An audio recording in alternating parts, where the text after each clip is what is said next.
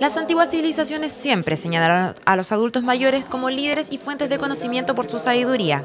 Hoy en día las relaciones entre estos y los jóvenes, a través de la misma modernidad y las relaciones cada vez son más simples, se ha ido perdiendo, por lo que el municipio de Viña del Mar, a través de su oficina comunal del adulto mayor, lanzó el concurso Relatos Biográficos Historias de Juventud, que llama a los estudiantes a relatar historias de sus abuelos o algún adulto mayor significativo para sus vidas. Cada niño hoy día hemos escuchado una historia muy bonita de un nieto con su abuelo, donde le contó parte de su juventud y por supuesto el niño se nota que estaba orgulloso de la historia y de todo lo que le ha transmitido su abuelo. Por supuesto yo los felicito a todos quienes han hecho posible este concurso y que todos participen, ojalá van a estar vinculadas todas las escuelas municipalizadas para de aquí a noviembre poder tener historias muy entretenidas como la, que hemos escuchado hoy día.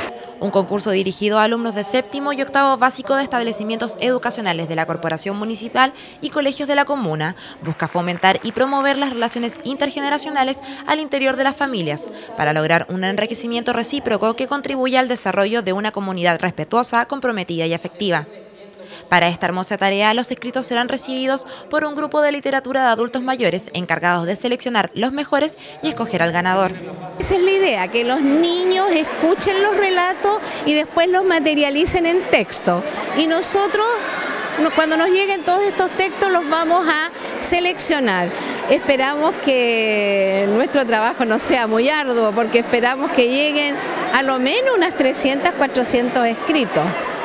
Así que de todas maneras estamos muy contentas con haber sido seleccionadas para esta actividad tan hermosa y que le hace tan bien a los jóvenes y a los adultos mayores, con ese envejecimiento positivo que yo nombré anteriormente. Además, los establecimientos que deseen participar podrán recibir el apoyo del equipo de psicólogos y de adultos mayores pertenecientes a este club de literatura. Así fue el caso de Víctor, quien sorprendió a todos al relatar la historia de su abuelo, su gran inspiración en su corta vida.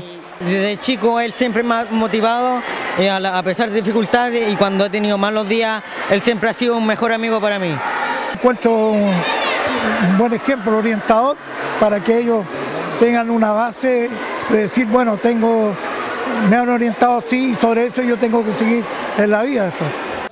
Los textos serán entregados hasta el 10 de noviembre en las oficinas de atención a grupos prioritarios ubicada en Avenida Valparaíso 729, donde además se escogerá un ganador y se otorgará premio a los tres mejores relatos.